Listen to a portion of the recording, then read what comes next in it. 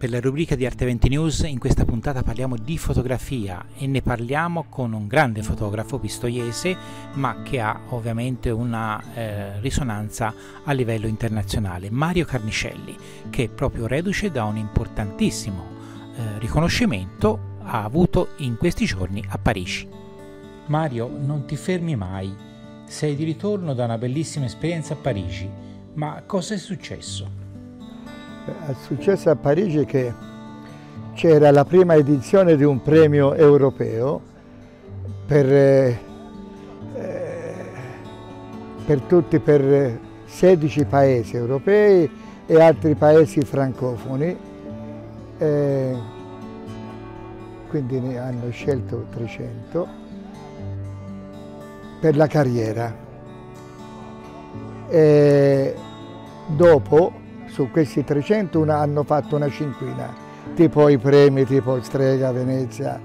Questa cinquina, tra i quali io, eh, siamo stati invitati a Parigi per la serata conclusiva dell'estrazione cioè del, di chi aveva vinto il premio. E questo c'è stato mercoledì passato. Quindi per mia fortuna il premio è toccato a me. Quindi è stata una bella serata per cui era stata diciamo, preparata da alcuni mesi.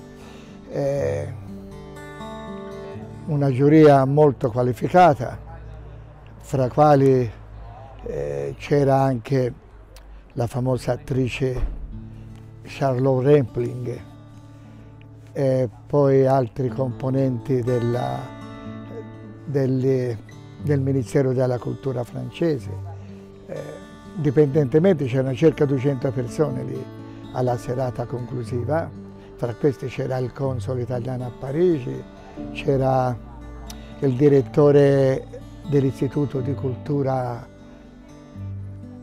italiana a Parigi, quindi la felicità mia ovviamente, eh, l'attrazione che poi ha questo premio, per cui tante cose saranno, diciamo, saranno combinate da questo premio, quindi si vede dalle richieste e tutto, quindi anche Le Monde proprio ieri sabato ha, col numero speciale dell'inserto sulla cultura c'erano dieci pagine che riguardavano tutto il mio lavoro. Ecco.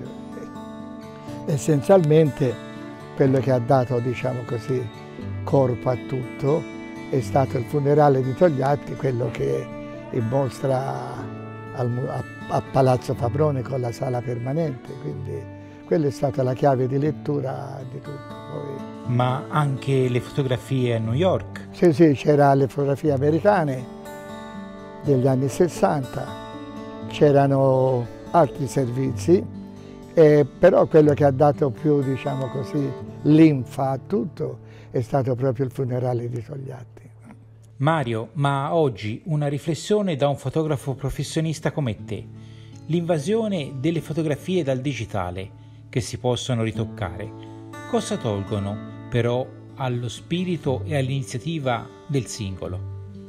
Io penso che non tolgono niente, perché quello che conta da ultimo è la foto che abbiamo in mano, quindi è quello lì, anche perché poi la foto non appartiene al fotografo, appartiene a chi la guarda. Ogni persona può farla, diciamo, vede con gli occhi propri e fa, fanno le loro riflessioni, quindi non, questo è, una, è come il sesso degli angeli, no?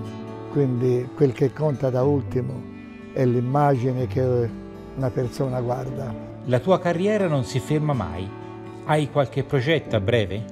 Ma sì, ci sono perché poi col fatto questo, diciamo, ultimo di Parigi, eh, c'è una mostra, ci sarà al, all'Istituto Italiano di Cultura.